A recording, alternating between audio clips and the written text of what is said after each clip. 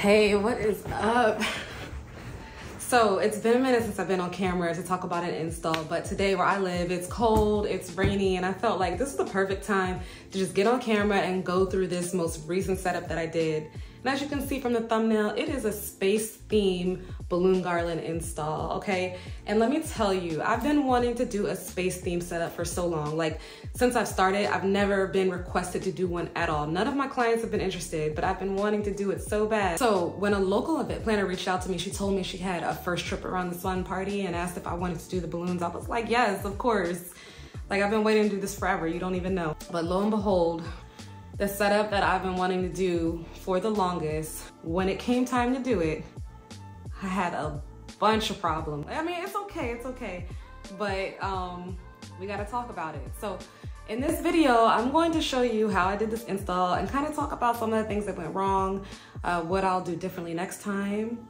But first, I also want to show you how I made this super cute planet theme balloon for my, my space um, for my install and how you can make it too. It's really easy and it's perfect for that look.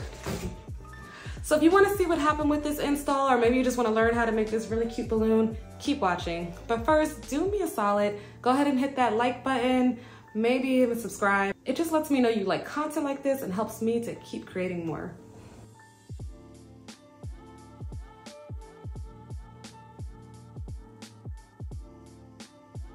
For our planet balloon, I'm going to use this Qualatex Agate, our old friend Funky Agate balloons, because it has this beautiful design with the paint that looks like a planet. When it blows up, to me, it looks just like Jupiter, even with the storm in the middle. And the cool thing about it is you can buy one bag, but each balloon may look different, so it adds some diversity to the planets. For your ring, you're going to use a 260. I really like the metallic look. Blow up your 260 and leave about one to one and a half inch free at the end. And then you're going to take the tied end and just twist it another one to one and a half inch. Just twist it around like this. Not too many times, just enough to create a little bubble. And then fold it and twist another bubble about the same size, one to one and a half inch. Pinch and twist, really simple. And then you're going to take that second bubble right there in the middle, you'll see, and twist that around.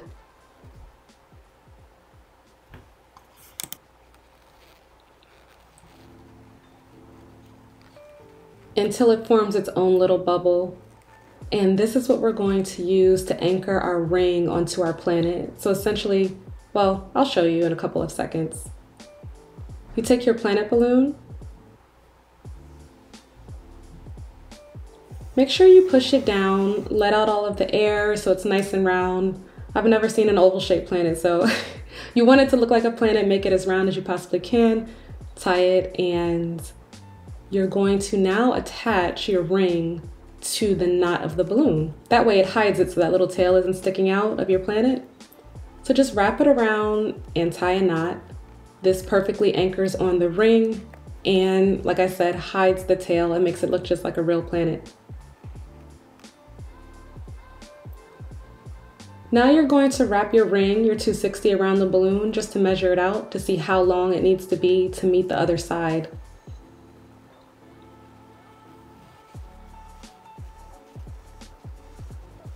Once you have that measured out to the correct um, length, you'll now pinch and twist right in that area because this is going to be the part that connects to the other side of the ring. So pinch and twist and then wrap it around that bubble that you originally made.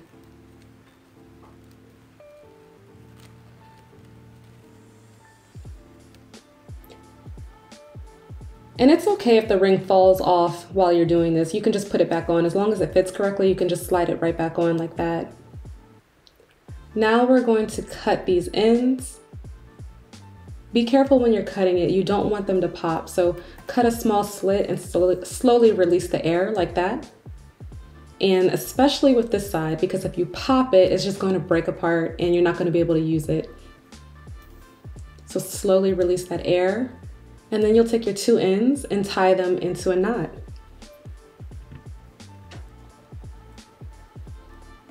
And that way no air is going to escape and you can, if it's long enough, if your ends are long enough, you can even use that to anchor your planet onto your balloons. Like you can use it like a 260, you know? And there you have it. This is a typical five point star, but I picked it because it's that iridescent look and I love the way the light reflects off of it with different colors. It looks better in person. It was like more purple and pink and matched all of the rest of the colors. I had to use a few different brands to get the color combination that I really wanted. You can pause it here to look at the name and color of each balloon that I use. Primarily use clusters of six with two 18 inch and four 11 or 12 inch, but I did have a couple of clusters of eight, more toward the bottom where they're larger. And I did pre-make my garlands just to give me a visual of the look I was going for. This is when some of the misadventures started happening. So initially this setup was supposed to be indoors, but it was changed to outdoor in the backyard and it was a very windy day. So my bags were blowing all over this big, beautiful yard and balloons were falling out, balloons were popping, uh, it was it was just chaotic. I was like running after my bags of balloons. So I lost a good amount of balloons because you know once those balloons hit the grass, it's popping time. You already know. Oh, they go in the grass. This also happened when I installed my garland. Many of the balloons at the bottom were touching the grass and popping, so I kind of just used the bag at first to to slow it down. I was able to use clips on the side of the backdrop to help hold my garland in place, and you can see this is what I'm doing now. And I did use a 260 to anchor these planet balloons and my other foil balloons onto the clusters. I attached my five inch using different methods. I tried the tie-in method, but I also used, um, I believe 260s or rubber bands, I can't remember. And here I'm just trying to figure out the look that I'm going for. I did make these 12 point uh, starburst and I'm just trying to figure out like, do I wanna use those or do I wanna use those iridescent stars? And I did make these silver balloons, which is just, you know, taking your regular balloon, your silver foil, and then your Bobo balloon on top. I want you to look at something, okay? I want you to see the way this backdrop is swaying in the wind. And just keep that in the back of your head as we kind of go through. So this part is pretty straightforward. I'm putting in my decorative balloons, my fillers, planets, foils, and everything like that.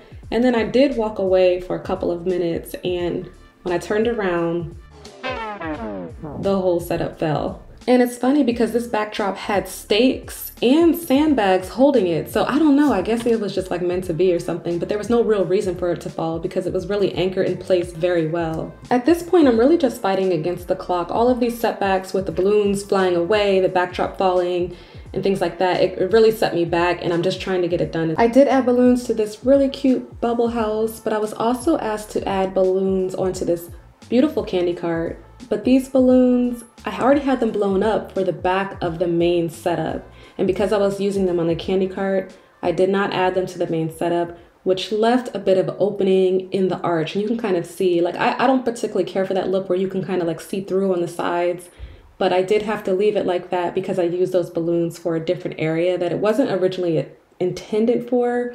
And this was my final look. So the funny thing is that despite all of the hiccups I encountered, everyone ended up liking how it came out. I just know what I'll do differently next time. And if you're anything like me and you enjoy these theme party setups, you might like these two other videos that I did, which you can find right here. In the meantime, thanks for watching and I hope to catch you in the next one.